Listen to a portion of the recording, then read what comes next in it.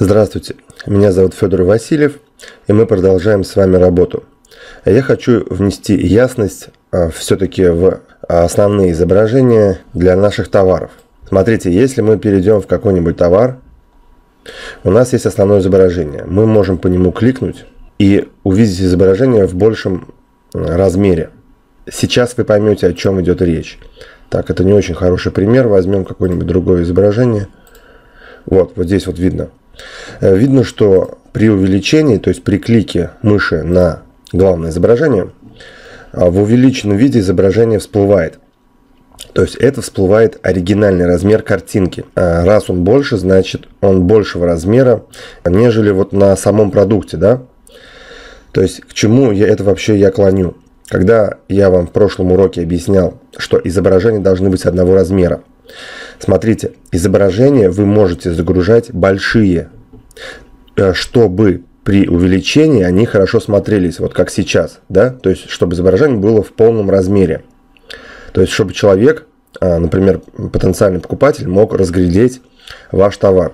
Э, я имел в виду, что изображения для продуктов между собой должны быть одного размера. Вот здесь ключевой момент. А уже вот этот размер,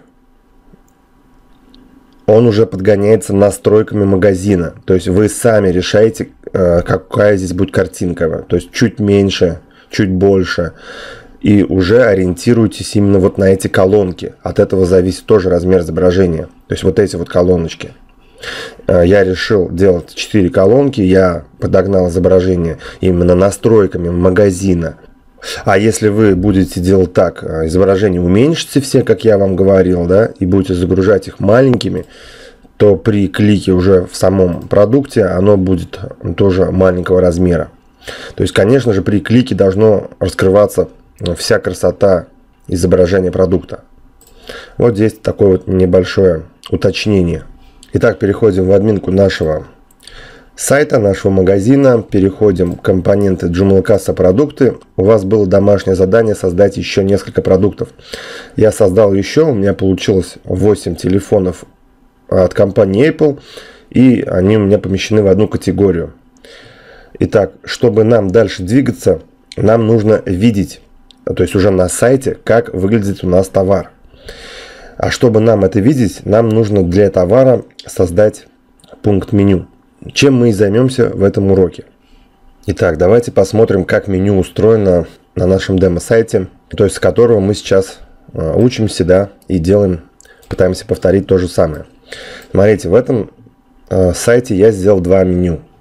То есть горизонтальное верхнее, оно не относится к товарам. Это какие-то информационные пункты меню, да. И наши товары, они находятся, вот я сделал в левой колонке, вот такое выдвижное меню. Здесь у нас имеются все товары, которые я создал. Давайте посмотрим в админку моего демо-сайта и посмотрим, как это устроено. Я создал пункт меню «Каталог товаров». То есть этот пункт, он не кликабельный. Видно, вот здесь написано ниже разделитель. Потом я создал а, смартфоны. Тоже разделитель не кликабельный. И для пункта меню смартфоны родитель у нас является каталог товаров.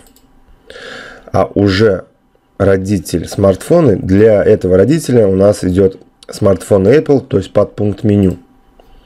То есть, смотрите, вот видно каталог товаров, это просто раздвижная панель.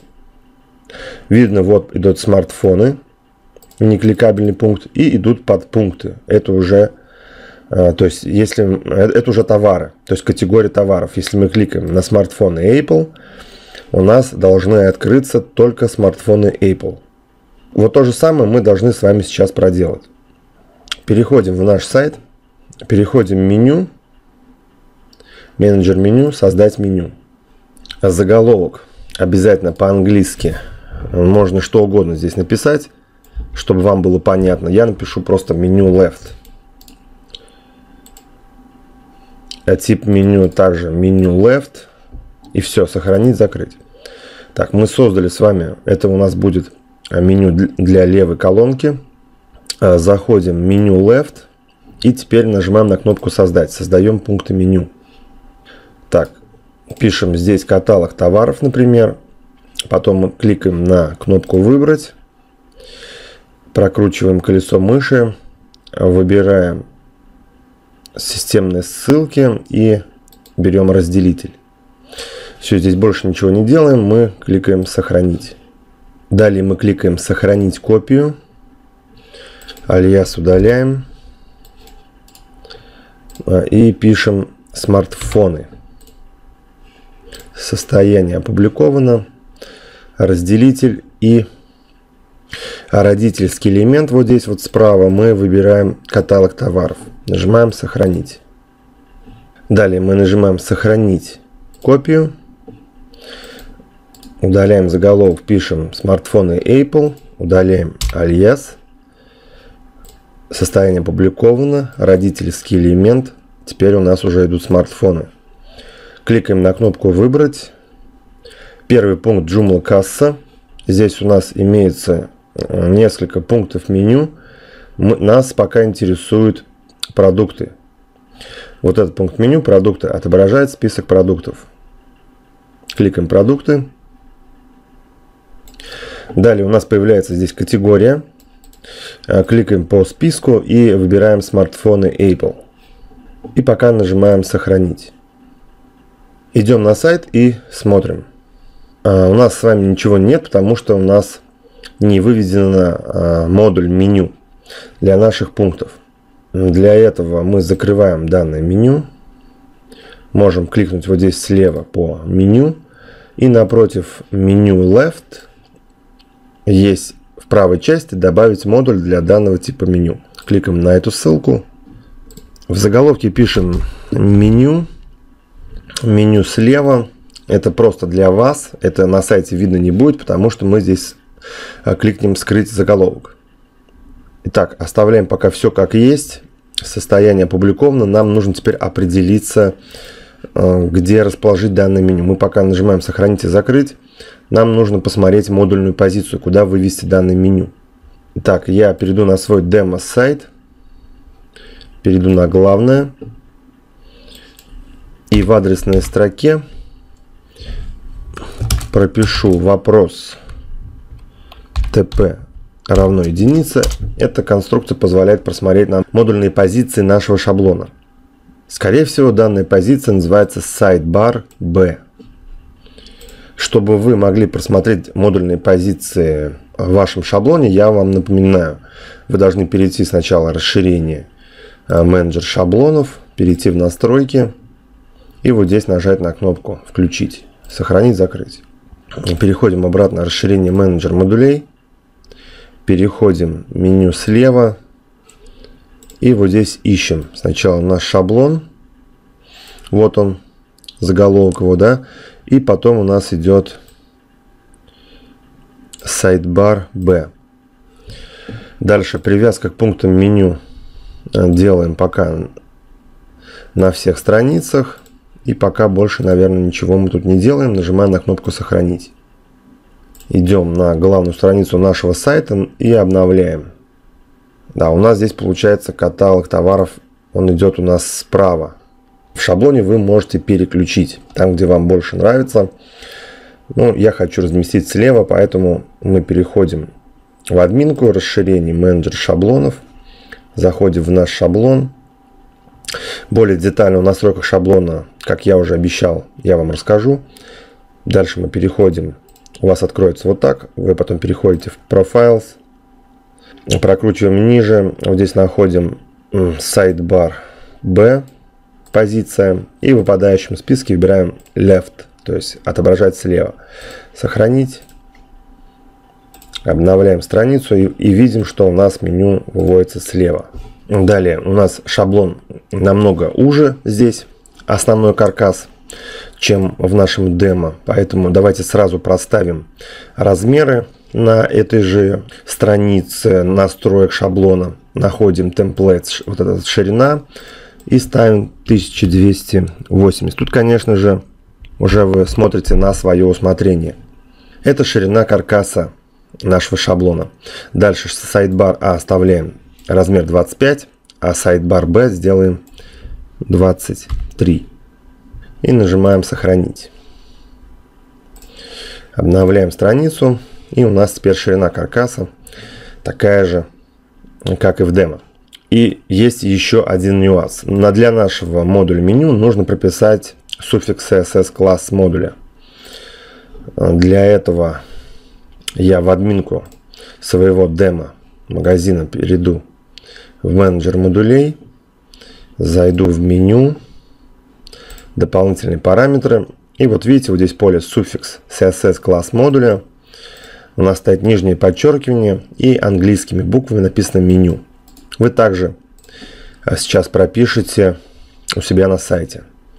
Переходим в менеджер модулей, меню слева, дополнительные параметры, суффикс CSS класс модуля. Вот так прописывайте, как у меня. Сохранить, закрыть.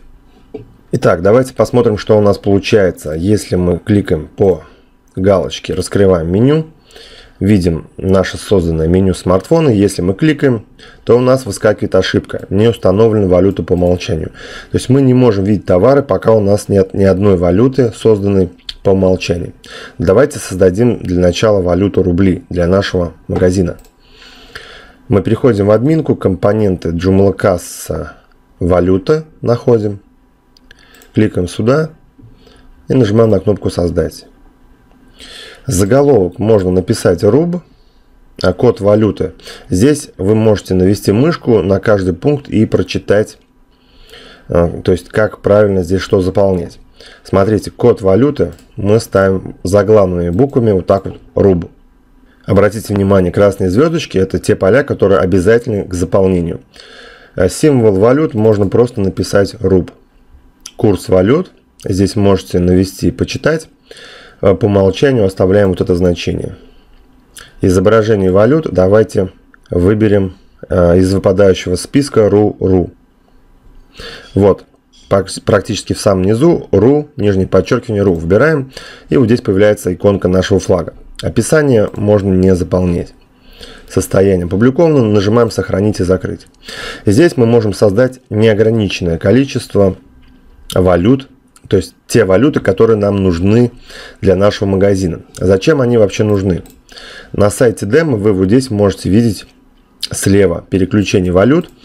А, я выбрал целый список, видите, да, руб, доллар и гривны. То есть здесь уже мы позже разберем детально, как создаются другие виды валют и зачем они нужны. Человек из Украины, например, удобно платить гривны. И чтобы ему не переводить самому, сколько рублей, это будет в гривнах, например, телефон, смартфон, а, заходит, например, в какой-то телефон, и он видит, что здесь цена в рублях. Он нажимает вот здесь вот гривны, автоматически страница перезагружается, и ему уже подставляется цена в гривнах. То есть автоматически меняется цена и подставляется ГРН в конце. То есть вот такая вот полезная фишка а, вы сможете сделать в дальнейшем. Пока мы просто назначаем э, руб по умолчанию, чтобы мы могли видеть наши товары. До этого мы еще дойдем. Итак, мы с вами создали первую валюту и надо ее сделать по умолчанию. Смотрим в правую часть и находим здесь такой пункт по умолчанию. Нам нужно кликнуть вот по этой звездочке, чтобы она стала желтенькой. И вот тут выскакивает сообщение, что данная валюта теперь по умолчанию.